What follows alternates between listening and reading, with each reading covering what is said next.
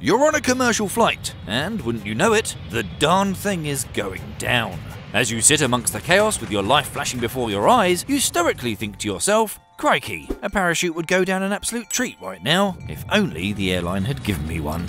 Well, unfortunate airline passenger, you are certainly not alone in this train of thought. But would having a nylon filled backpack be your ticket off this falling winged tube? Or would having a parachute actually make no difference at all to your current predicament?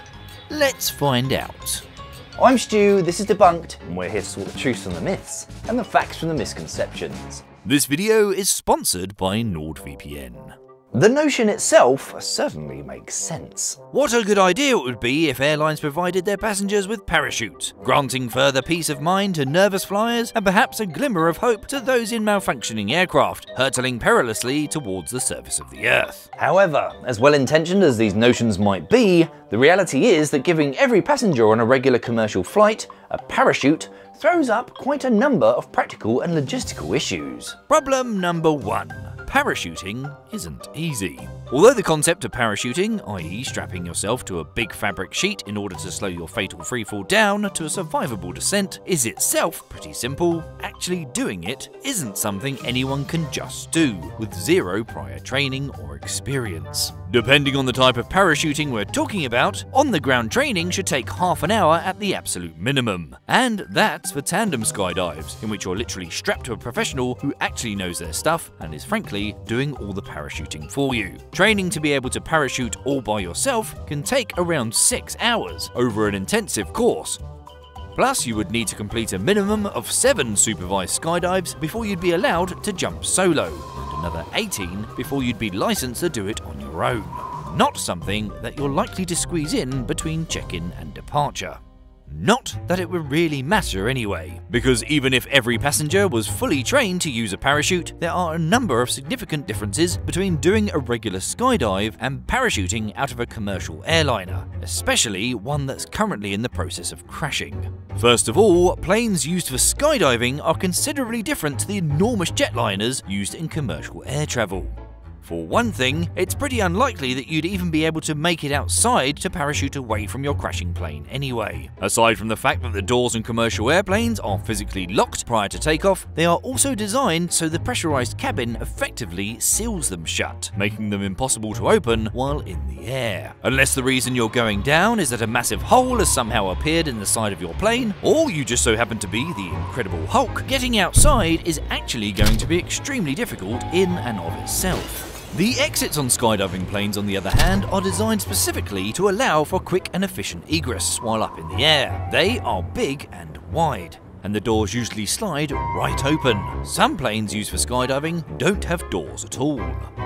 Now, most of you won't ever have to worry about the real world situation of needing an emergency parachute, as over 99.99992% of flights make it safely to their travel destination, where you can then sit back and relax and catch up on some of your favourite shows on your favourite streaming service. But wait, what's this disaster?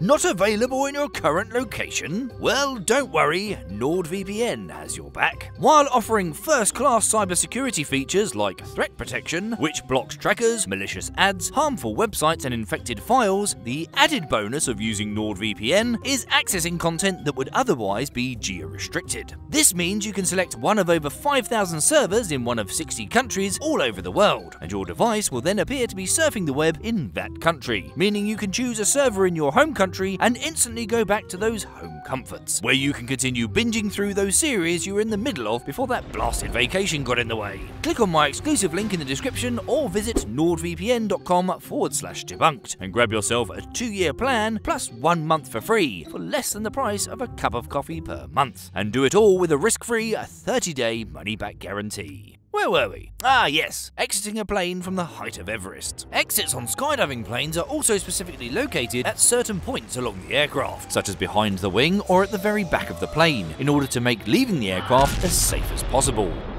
Not only that, in the interest of safety, skydiving planes are on average flying 95 miles or 150 kilometers per hour when their thrill seeking passengers start flinging themselves into the atmosphere. Not so with big commercial planes. Considering the fact that commercial airliners usually travel at somewhere between 460 and 575 miles or 740 and 925 kilometers per hour, simply exiting the plane could cause serious injuries just from the force of entering the outside airflow. At those speeds, there's also an extremely real possibility of slamming into the outside of the plane on your way out, which increases the likelihood of sustaining fatal injuries from imminently possible to almost certain.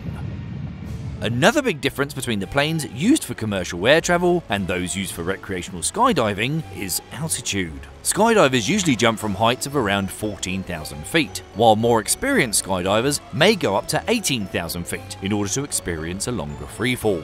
Commercial airliners usually cruise at somewhere around 35,000 feet, well over double the altitude. This creates some issues for any would-be parachuters hoping to jump free of their doomed aircraft. First of all, the air at that altitude is so thin it isn't even breathable. So you would also need some kind of additional oxygen supply, likely in the form of a mask and tank, in order to not pass out. Fingers crossed you regain consciousness before, well, you know. Of course, this is assuming your lungs haven't exploded already, which is what some experts say would happen if you tried to take a breath at such altitudes without a pressurized air supply. Professor Jason Kring points out that the volume of a gas is inversely proportional to the pressure exerted on it. At that height, according to Boyle's law, the air pressure is sufficiently low that taking a breath would cause the air inside your lungs to expand so quickly that they would, for lack of a better term, explode. Yikes. There's also the minor issue of temperature, which at 35,000 feet is somewhere around minus 30 degrees Fahrenheit or about minus 34 degrees Celsius, at least. And that's not even including the wind chill you'd experience from jumping out of a plane at 500 plus miles or 800 plus kilometers per hour. So, on top of a parachute and an oxygen tank, you're probably going to need some kind of specialized clothing to protect your fragile human body from the inhospitable cold on your way down. Even if we ignore the obvious pandemonium that would erupt in such a situation, and presume that everyone is able to remain perfectly calm in the face of fiery insta-death, the idea that you could safely and efficiently evacuate hundreds of passengers from a plummeting airliner before crashing is what we in the business like to call a big. While the FAA only approves a plane that can be evacuated in 90 seconds, those time limits are only tested in organised drills on land, where all participants are aware of the situation. As you can imagine, real-life emergencies are often a tad more chaotic. A 2020 study of real-life emergency evacuations found a host of examples exceeding the expected 90 seconds, with a 2012 incident taking 3 minutes and 38 seconds to get everyone off board, and that's when the plane was on the ground and without without everyone getting parachuted up. But how long do we even have before the plane hits the ground? During the infamous Air France 447 crash in 2009, for example, the airliner practically fell out of the sky, falling 38,000 feet in three minutes. Even the most optimistic evacuation times wouldn't get everyone suited and booted and out of the door in time. By comparison, in 1983, the crew of Air Canada Flight 143 managed to keep their Boeing 767 in the air for a whopping 17 minutes after running out of fuel. They safely glided to an emergency landing, saving all passengers and crew on board. So you'd have been a fool to jump plane in that scenario. Last of all, we of course have to consider the sordid topic of coin. In order to facilitate a policy of parachuting during an emergency, a lot of things would have to change about not only the planes themselves, but the entire commercial aviation industry. And things have this rather annoying habit of costing money. Parachutes, oxygen masks, and skydiving apparel aren't cheap, and to provide a full set for every seat on a plane would cost a lot of moolah. Not to mention the likely cost of developing and redesigning a version of these that would be better suited to commercial air travel. They would also take up a lot of space in the plane, which means less space for passengers, which means less money. As discussed, the design of the doors would need some rejigging, and requiring everyone to be parachute trained would be an enormous undertaking that would also cost a penny or two. As you can imagine, all of these costs would naturally be passed on to the passenger, which would cause the price of air travel to skyrocket and profits to dwindle. So, yeah, On top of everything else that is practically and logistically problematic about parachutes on commercial airplanes, they're also financially unfeasible too. This is especially true considering the fact that in the last couple of decades, almost all fatal plane crashes, more than 90%, happened during takeoff and landing, when a parachute would be pretty much useless. To answer the original proposition, the reason why airlines don't provide passengers with parachutes is because it is, for many, many reasons, highly impractical, logistically mind boggling, extremely expensive, and fundamentally unlikely to save enough lives to be worth doing in the first place. Thanks for watching, thank you to our Patreons, and we'll see you next time.